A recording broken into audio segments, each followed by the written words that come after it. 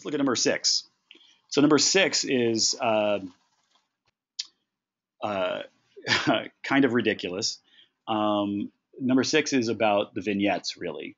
So what we're talking about here is the light levels from different fixtures and how you figure out how many lights you actually need in a space.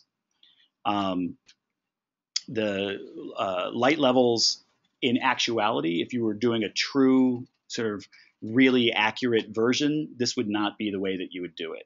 This is actually a fairly simplistic version of how to think about these things, um, but it's sort of useful and fast. And this is the one that's on the vignette, so this is the one you have to get used to to using this sort of terminology. So, okay, using the charts on the last page, what is the space?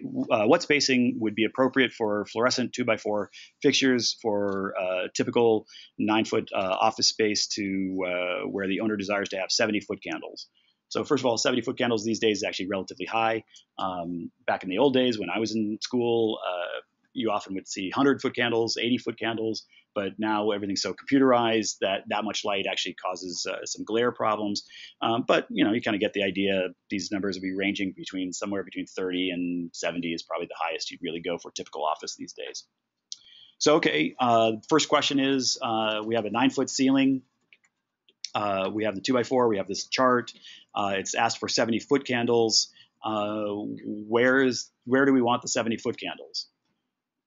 Think about that for a second. The answer is we want it on the work plane. Well, where's the work plane? Well, it's an office. The work plane is the desk. So if you think about it as either 30 inches or 36 inches, somewhere in that range, kind of gets you in the, right in the ballpark.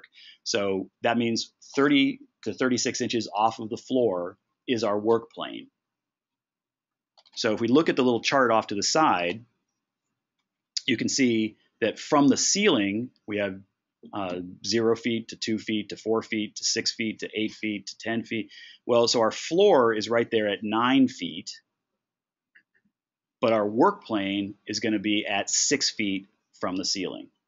So the thing we care about in this context is the work plane. So we're coming six feet down from the ceiling. We'd actually, if we're getting really technical about it, we'd actually go six foot six, probably probably use 30 inch, but you get the ideas. I'm trying to keep it simple with these charts. Um, so we're at six feet uh, off uh, off of the ceiling, and then the other thing we were looking at was the 70 foot candles. There's uh, 70. The ones that we have called out are 30, 70, and 90.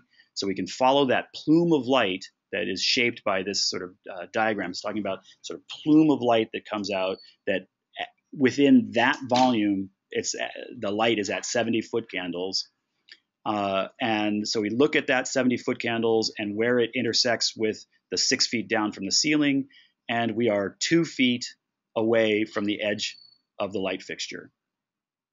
Hope everybody can see that.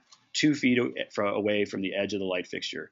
And uh, our, our intrepid uh, Megan, who uh, sent in her answers, uh, you got uh, got snookered by that one um, because you answered two feet which is a totally reasonable, logical answer, except that you forget you now have to have the other light because you're talking about the spacing. So I have another light next to it. That light is going to be over here. It would also have two feet uh, where it would cover that 70 foot candles. I put the two of them together. They're four feet apart from each other. So a couple things to say about these things. One is foot candles.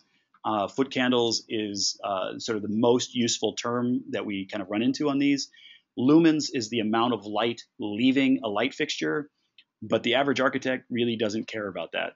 A light designer cares about it, uh, a product designer cares about it, but the architects, yeah, you don't really care about lumens. What you care about is how much light hits the work plane. That's the only thing you really care about.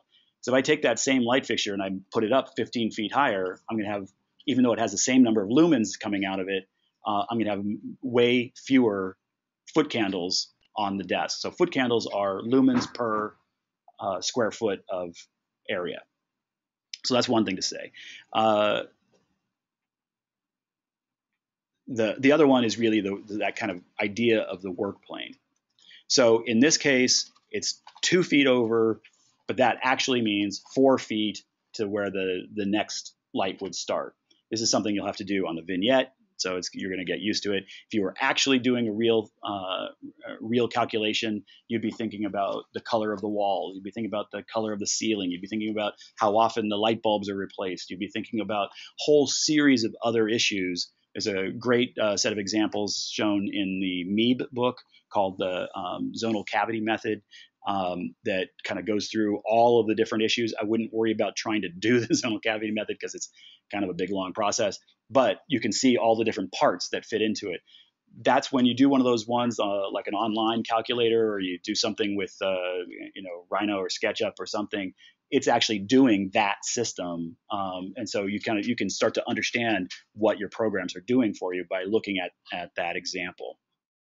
Today's ARE Live episode is an extension of our online ARE curriculum that you can find on blackspectacles.com, the home of online learning for architecture and design. If you need to prepare for the ARE, which I assume many of you guys do, and if you're looking for a good way to study for the exam that's more flexible and easier to digest than the traditional exam prep materials, and head over to blackspectacles.com to try out any of our free ARE video tutorials that are taught by tonight's presenter, Mike Newman. As an attendee, and as you can see here on the screen here, we have a couple of notes or information for today's episode. Any anyone who is attending today's session, you're eligible to use this coupon code worth 15% off the first charge on your individual membership. If you're one of those folks who would like for your firm to purchase Black Spectacles access for you and your colleagues, just visit blackspectacles.com slash business, which is this fourth link here, and we'll send all the information for your firm to get set up. And also from now until the 15th of next month, firm memberships are 15% off if you mention this episode when you submit your form through blackspectacles.com slash business. Also on this, you'll see that our next webinar webinar will be on May 27th with Mike at 6 o'clock. So if you'd like to register for it, here's the registration link. We're still firming up the details and the actual topic. So if you have any suggestions and would like Mike to cover a specific topic or would like us to interview someone in particular about a specific topic, please let us know.